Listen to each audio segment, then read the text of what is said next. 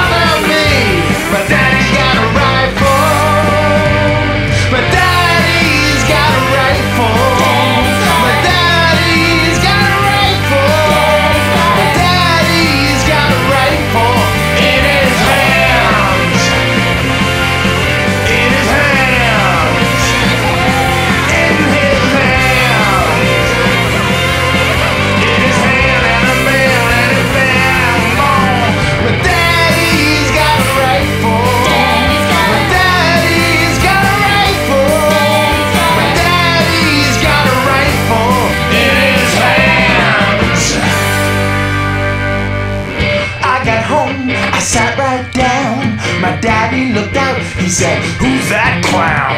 He followed me all the way from school.